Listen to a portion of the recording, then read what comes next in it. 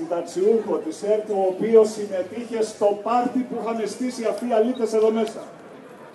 Πες τα ρε coach, μπράβο.